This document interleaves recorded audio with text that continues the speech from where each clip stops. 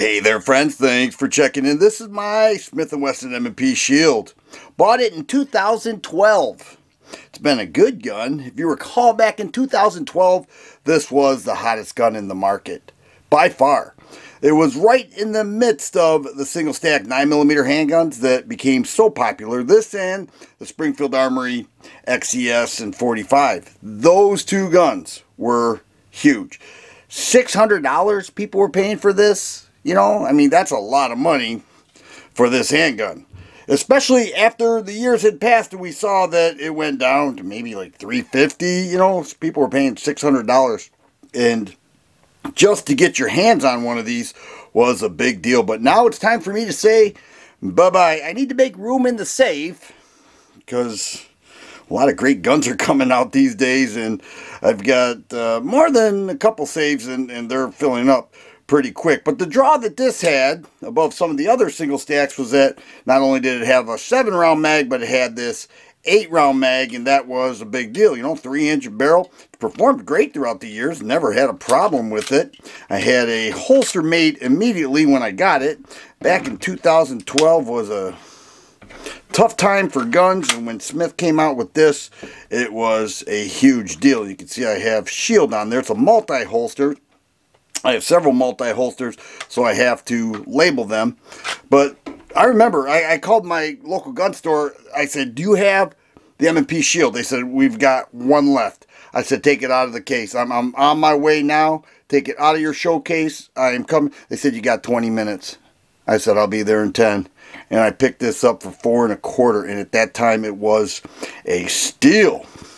Actually, I think it was 450 but you may be asking, why are you getting rid of that? You know, it's a good gun. You already said it's a good gun. It's performed well. It's got the 8 and 7 round magazine. Why are you getting rid of that? Well, it might be obvious. I don't know. Perhaps it is. But I got the Shield Plus. Also a 9mm. Now, this was available in 9 and 40.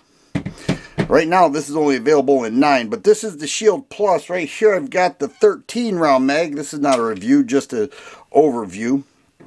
And then it also comes with a 10 round mag. Now the, the draw here is that here's that same holster.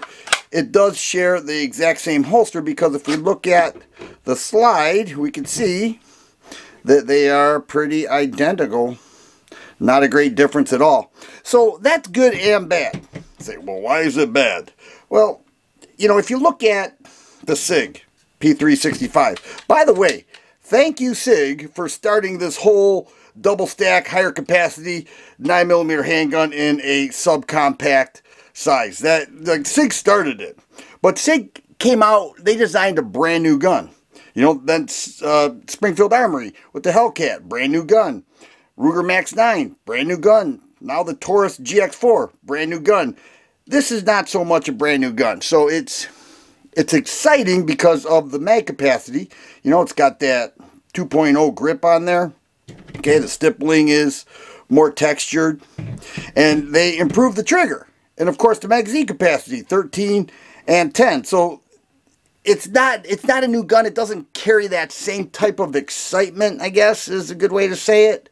But it does align well. Now I've had so many people say, hey, you know, the Ruger Max 9, I want to see how it aligns with the Shield Plus. The Hellcat, you name it. P365, now the GX4 how does that align with the Shield Plus? Well, that's what I did. I got the Shield Plus. so we could check some of that out. Now, many people are probably wondering, well, what'd you pay for that? Well, you know, if I tell you, sometimes I go onto the bad boy list on YouTube and the videos don't end up on half the people's subscription feeds. That's what happens. It's not, I'm not worried about it getting demonetized for the monetary purposes. I don't like it that the video gets squandered in the mix because it's demonetized and that's what happens. But I ended up picking this up as is. Now this is not a performance center. Okay, you can see it has the 3-inch barrel, not the 4-inch barrel, which the Performance Center 4-inch barrel has the optic ready choice on there, or slide cut I should say. Fiber optic sights and all that, those are mid to upper 600s. I picked this up for 479 and I'm not going to say where I got it from, but I might post a or pin a comment so that you can see they're sold out. I checked today, they're sold out at that price. 479 was a steal, much like this was for 450 back in 2012. But um, all things considered, it was a pretty good deal considering that you check Gunbroker, you, you check everywhere. You know, you're looking at between 550 and three or 550 and 600 dollars, and that's what the Shield Plus is going for. Then the Performance Center models are going for about 150 to 200 dollars more, especially if you want the four inch barrel one and the optic slide cut. But uh, anyways, that's what I, that's how I got around to this. It does have a flat trigger there. Okay, I said I wasn't going to review it, but I guess I'll show a little bit. It does have the flat trigger. It does have a trigger bar safety opposed to the hinged trigger that does not have that. But they, they did a nice job with it. It just doesn't carry that same amount of flare. But I'm still looking forward to doing some comparisons primarily, and I think it's a pretty decent gun, all things considered. If you like videos like this, please subscribe and share. I always appreciate thumbs up button. Thanks for watching, and you guys be safe.